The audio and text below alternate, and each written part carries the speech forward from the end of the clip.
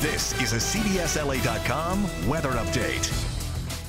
I'm Danielle Gersh with your Wednesday morning weather update. So radar's quiet right now. Some very light showers over the San Bernardino County mountains and to our south in San Diego County. Mostly we'll be dealing with cloudy skies today. Not going to rule out a pop-up thunderstorm this afternoon, but early this morning, this is a radar loop from the early hours. Just waking up and we had some storms rolling through the deserts, the IE and into San Diego County. Futurecast does show those storms wind down later this morning and we'll have a cloudy day. Could see some more storms firing up over the mountains and the deserts this afternoon.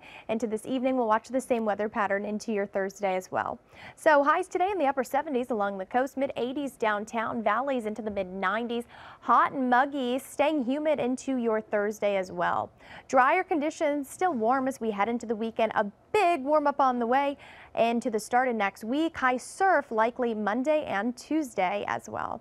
Thanks so much for watching. Hope you'll join us for CBS 2 News at 11 a.m.